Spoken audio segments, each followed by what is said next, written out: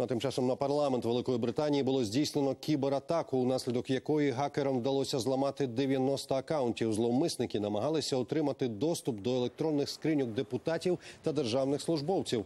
Аби захистити мережу, віддалений доступ до робочої пошти заблокували. Зламати акаунти вдалося через занадто прості паролі, які не відповідали вимогам безпеки. Хто здійснив напад, наразі невідомо.